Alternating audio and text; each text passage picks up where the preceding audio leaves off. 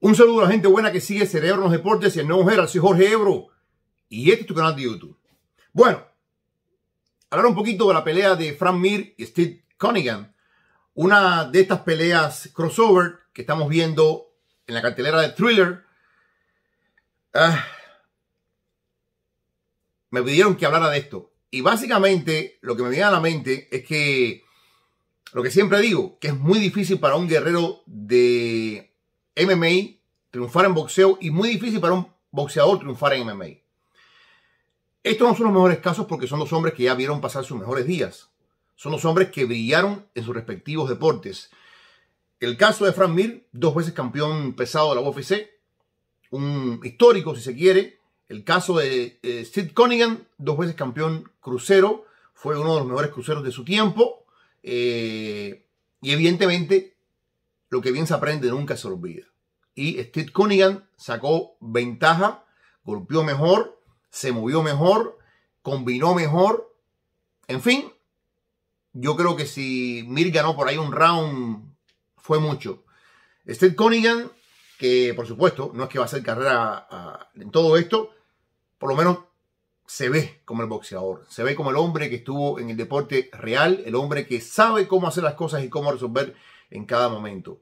Para Frank Mir, yo creo que la victoria es sobrevivir. Para Frank Mir, la victoria es haber llegado a escuchar la campana final, porque yo pensé que a Frank Mir lo iban a noquear. Francamente, yo pensé que no tenía, es un hombre que no ha entrenado un boxeo propiamente, y aquí se vio Creo que hizo bastante ante un ex campeón del mundo. Creo que resistió, tiene buena barbilla Mir aquí. Y el hecho de que haya terminado está bien por él. Ahora, yo creo que esto es de boogie despedida, ¿no? Es de boogie despedida no solamente en el boxeo normal, porque Frank Mir tiene eh, pensado pelear en Burn Knuckle. Yo creo que después de esto, Frank, a quien respeto muchísimo, tiene que reconsiderar. Porque este es un boxeo, caramba, que sabemos que tiene sus tintes de, realidad, sus tintes de, exhibición, etcétera, etcétera, etcétera. Burn Knuckle es otra historia. Burn Knuckle es brutal, es sangriento. La última cartelera que yo vi de Burn Knuckle, un hombre terminó en estado de coma. Y yo no creo que Frank Mir tenga ya los reflejos, ni las habilidades, ni ese poder dominante para imponerse en Bare Knuckle. Es una cosa realmente mucho, mucho, mucho más dura que la UFC. Te lo digo porque he estado ahí y he visto cómo terminan los guerreros. Y todo termina rápido. Yo creo que esta es la señal de que, Fran, ya hiciste. Viniste aquí, te divertiste, ganaste una plata y eso está bien. Pero no vale la pena. Francamente, la hija de Fran Mir dicen que tiene un futuro muy grande en las artes marciales mixtas.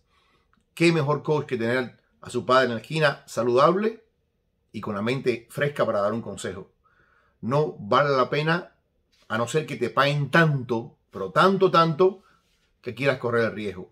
Pero Frank Mir no es boxeador y se vio aquí a, la legua. Creo que aprendió, hizo un buen campamento y sobre todo demostró que tiene un físico todavía que aguanta el, el cuje, como se dice, de al menos seis rounds de pelea. Pero fueron seis rounds.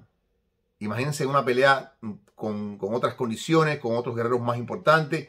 Eh, los guerreros de Knuckle generalmente son muy jóvenes, son gente joven, gente que está luchando, gente que tal vez no lo hizo en el boxeo normal, gente que tal vez no lo hizo en la UFC. Hay algunos veteranos que pelean Knuckle, por ejemplo, como eh, Tiago Alves, eh, pero hay mucha gente joven con mucha presión que pueden poner en mala condición física a Frank Mir. Por lo demás, una cartelera que es espectáculo.